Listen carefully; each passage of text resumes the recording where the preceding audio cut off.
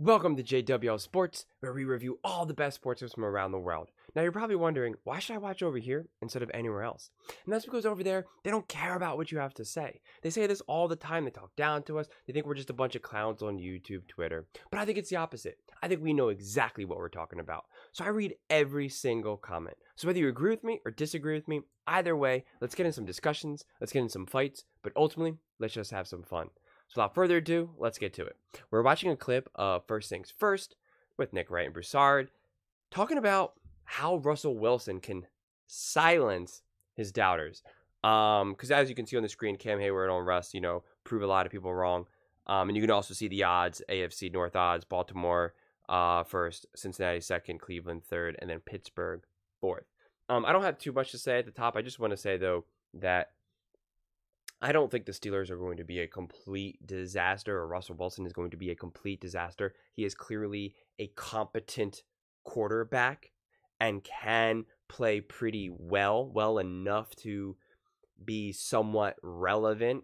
But the team needs to be good enough, and the coaching needs to be good enough, and you need to get a little bit of luck here and there. And the truth is, is that the Baltimore Ravens aren't going to give that to you. The Cincinnati Bengals aren't going to give that to you. And the Cleveland defense, at least, is not going to give that to you. So at this point, to really succeed in the NFL, you need a special quarterback, a special quarterback, or a pretty good quarterback with some really nice pieces offensively and a great or special offensive coordinator slash offensive head coach. But it doesn't work if you have a pretty good quarterback and pretty good weapons around you and a pretty good coordinator because then you just become like a seven, eight, nine win team. And that's probably what the Steelers end up being, especially because they should have a pretty potent defense. So let's take a listen and see what they have to say, and then we'll break it down from there. Uh, lined up with Brew as a Russ believer. Take a listen. I thought there was going to be a competition there uh, between him and Kenny, uh, but now going forward, um, you just look for the leadership he's had. Um, a guy who's been in Seattle, who's won games, uh, won a Super Bowl already. Um, didn't have the the best time in Denver, but uh, you know, I think he's a hungry guy who's ready to prove a lot of people wrong. Okay, it's courtesy of the Rich Eisen show. Brew, do you expect Russ to silence his doubters?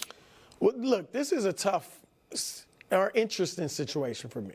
Because if you guys remember a few few weeks ago, before the Steelers got any of the quarterbacks, and it, the reports were that they weren't going for anybody, mm-hmm. and I said, "Oh, they should go for Russ." I said, hey, "Really, I'd go for Justin Fields first. Yeah. But we didn't think they'd go for either. They end up getting Russ first, and now Fields. So I like both guys. I think they're in a great position. The Steelers. Here's what I'll say about Russ. I do think he's going to win the job. I, he's got it right now. I think he'll secure it in training camp. But I also think I think Cam Hayward, one of the leaders of their team, respected. That'll help Russ. He's obviously got his back. The leash on Russ will be short, and it should be. But it's up to him to if he play like he can't come out slowly. He can't come out playing poorly because if he plays poorly and doesn't look great, they were they're going to be like, we want to see what Justin can do. So how many? Suppose he's I playing think mediocre. Russ can, See, this is already setting both quarterbacks up to fail. You're putting this pressure on Russ. Every time he overthrows someone, throws a bad pass, interception, whatever, takes a sack, he feels I'm one step closer to being benched. That is a snowball effect. Russell Wilson does not have that confidence right now to be able to overcome that consistently. So now you're setting Russell Wilson up to fail. On the other side, you're setting Justin Fields up to fail because now Justin Fields getting all antsy. He's like, "Oh man, am I going in? Am I not going in?" Or and then you're gonna throw me in in the middle of the game, and I'm not even gonna get first team reps. And then I'm and then this is my chance. This is my chance. Russell Wilson just got benched. Okay, this is my team. It's time for me to prove everyone wrong. It just builds up this pressure. You're setting both quarterbacks up to fail in that regard. What the Steelers should do is go to Russell Wilson, go to Justin Fields, and say, "Well, actually, maybe do this separately." But be like, Russ, you are the starting quarterback. Justin Fields is sitting behind you this entire season. Okay? You have no risk of being benched. We signed you. We want to see what you can do. We believe in you. We also think Justin Fields has the potential to be a great quarterback, but we want him to be developed first, and we believe that he can learn a lot mm. from you. So there's no pressure, no nothing. just keep doing you. And you know what? If you keep playing great and winning, then we'll be forced just to let you know Justin Fields go. So there's no pressure whatsoever. Even if you go 0 and 6, Justin Fields is not starting. Now you have the conversation with Justin Fields and say, Justin Fields, we believe in you. We think that you just need to be developed. We think that the Chicago Bears are a clown show organization and completely mismanaged you. I can't believe they're getting rid of you. We think you are elite. You are a top level talent, and we know you know that. We're gonna, we got you hooked up with a legitimate OC. We got some nice pieces. Russell Wilson, he might get a bad rep right now, but you know what? He is a Super Bowl winning, Pro Bowl you know, uh, I think he led the league in passing the one year. He is he he's he's got some hardware there, okay? He's got the jewelry. You can learn a lot from him. You are not going to play this entire season. I know it sucks. I know your career has not started as you envisioned, but this is the way it's going to go. Trust us, okay? Patrick Mahomes sat for a whole year and the rest is history. You're going to learn, you're going to develop, and then, you know, then then we're going to really see what you can do. We believe in you. Boom all the pressure in the in the quarterback room has now completely resolved. Now all the players know who is the starting quarterback because what also people don't understand is that this puts the stress also on the players because now they don't know who's going to be our quarterback or if they're down 21 to nothing and they're going into like the third quarter or the fourth quarter whatever are the players looking around and being like yo are they are they going to is Justin going to be coming in man is Justin you know what's going on with him you know and it, it just it just everything becomes unclear and foggy and hazy. And when you establish this, everyone knows. Everyone knows also now to get behind Russell Wilson and to not being like, hey man, Justin Fields is playing pretty good in practice. Maybe you know we need to try to lobby to get him some starts right now. Like, no, no, no, no. He is just developing. That's great. He's showing promise, and that get excited then for next year. You know, but like this is just what it is. That's what you have to do. Okay, it's been proven to work, and especially when a quarterback needs to be developed. Not I mean, if they're winning, if they're like three and one, and he's well, playing mediocre, they'll they'll you know I think they'll keep they'll obviously keep him in there. But I'm saying if they lose some of these games early and he plays kind of like he did in Denver, then I think he could be in trouble. But I, I, think he'll be able to hold off. I think he'll play well, but the leash is short. And it and as a even though I like Russ, it should be because Justin is more likely to be your future. True.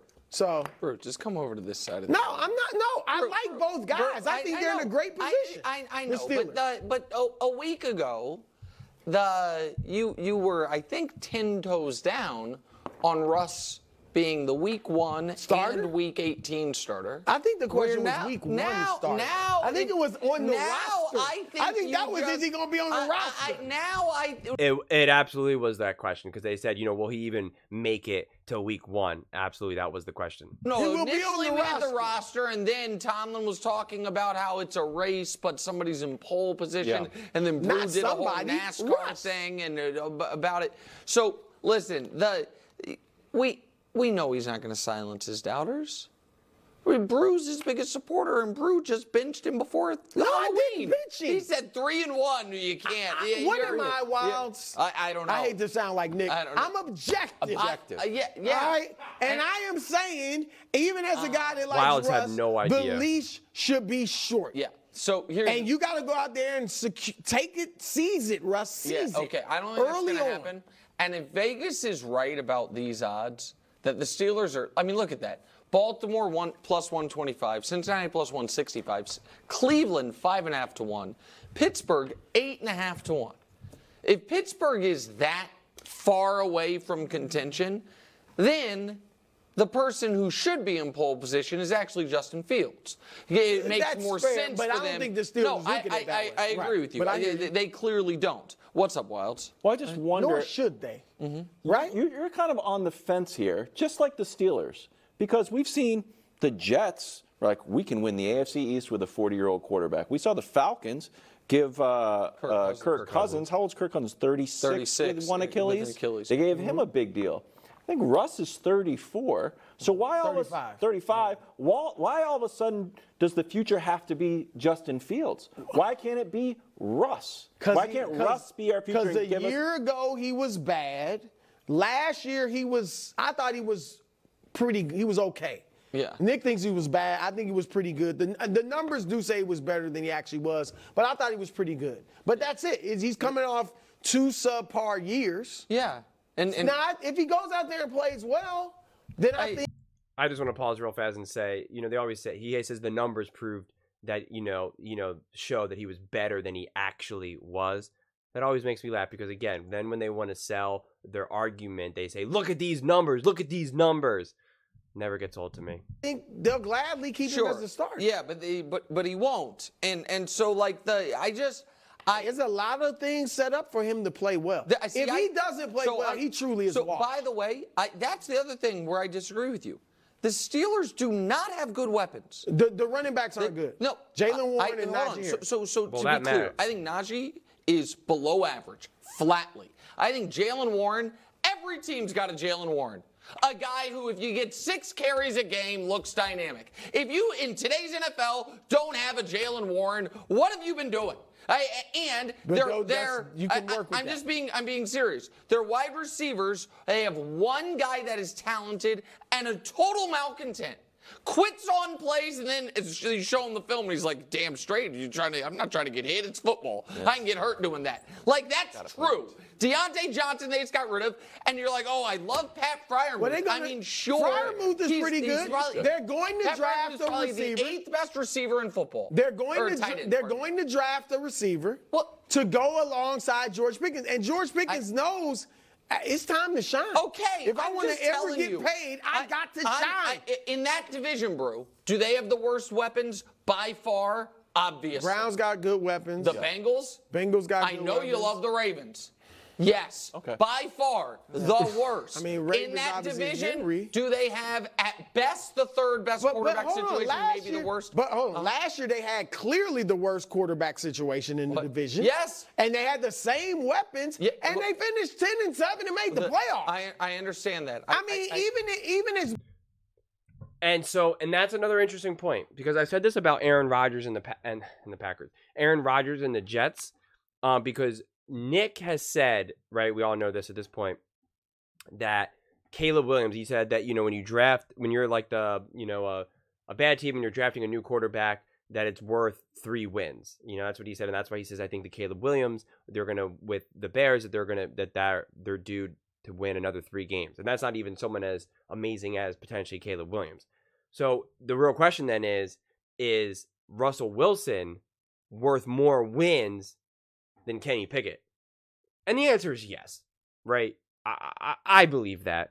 Um, and that's not to say really anything too strongly about either of those quarterbacks, but I don't I don't think Russell Wilson is just a complete lost scrub should never be in the NFL ever again. He's made mistakes. He's not playing as well as he has in the past and may have never been as good as once believed. All those things can be true. But what can also be true is is that he's still a good quarterback, good enough, you know, to be in the league, right? Um and I, I think, but I don't believe, I don't agree with Brew where like all the pieces are there for him to succeed. Where if he can't succeed with Pittsburgh, then he's done. That's not fair. Because now that's like if you say that that's like equivalent to the 49ers then. Or if he's with Sean McVay or you're with like a true offensive mind here. He's not with he's not with that right now. So you're putting a lot of pressure on the OC now to be able to make moves. Not to mention Russell Wilson has been tagged as an issue that if anything goes wrong, everybody points to Russ because nobody wants the blame. The OC, the offensive, you know, um, Mike Tomlin, um, the the offensive line, uh, the receivers, the running backs, everyone, everyone just wants to point. Well, it's Russ. It's Russ. What do you want us to do? You gave us Russ, Russell Wilson. Of course, this is what's happening, even if it's not necessarily accurate. You know, it's what happened to Carson Wentz. I mean, it's what happens to a lot of players once they get tagged as you know not a winner, not good, not a good locker room guy, whatever it may be. Um, and in, in a lot of ways, right? Like Russell Wilson wasn't the problem in Denver, right? Was did he not get along with um, uh, Sean Payne? Absolutely, but was he so terrible that he needed to be benched like a complete scrub? No, I, I don't believe that. I really, really don't. Under that logic, then why didn't Justin Fields get benched? Um, so you know, how did Baker Mayfield ever get another starting job? You know, Russell Wilson did win a Super Bowl. Russell Wilson does know how to manage a game. Even if you want to reduce him to just being a game manager, he's clearly proven to be capable of doing those things. Now, we are in a different era of football. He's played in two eras in a lot of ways, where the one era defense could really win championships. And now it's really like you need a special quarterback. And that is part of the problem with Russ right now. But I just think in a good conservative system, and maybe not one that is so aggressive, Russ could win. And and the problem is, is that's why they it, they would be benef- it would be beneficial for them to really establish a true run game. What what Russell Wilson needs is pretty much like, you know, year 1 or 2 Ezekiel Elliott. That's really like kind of like what he needs, right? That's when Dak Prescott shined. When you just had this beast of a running back that you could run the offense through. That in my viewpoint is how you can set Russell Wilson up to succeed. But if you think you're just going to be able to run an innovative offense and really scheme and get a little fancy, I'm just not so sure that's going to work. And the only reason why you can kind of hide maybe not a great, an elite quarterback with a great OC with great weapons is because you let the weapons do the work, right? It's just about getting the ball to those pieces. A great OC can only do so much. So no matter how great their OC maybe is, which I don't really think he is, I mean, I'm not saying he's bad either, but um, it's just the jury's still out in a lot of ways. Failed head coach, um, which you know they're different. They're different skill sets in a lot of ways. Um, could still be a brilliant OC and a terrible head coach. Um, I just think that it's just it's got the potential to be pretty sloppy, quite honestly. Um, especially when you have another quarterback in the wings waiting to just pounce any moment. Something you know bad can happen. Um, so those are just my thoughts. I would absolutely love to hear yours. Let me know in the comments below. Um, you know, do you think Russell Wilson can silence his doubters? Um, and please don't forget to subscribe. Um, we're building such an amazing community here, and I would really absolutely love to see you part of it. You know, I want to build something that we all genuinely feel connected to, something that we're really excited to be part of, and I think we're well on our way to doing it. And please don't forget to give this video a thumbs up as it really does help with the visibility in the algorithm and it helps combat the haters who just hate on me and give me a thumbs down because I'm not just saying universal praise about whatever topic I'm talking about. So, I would really appreciate it. Thank you so much and see you next time.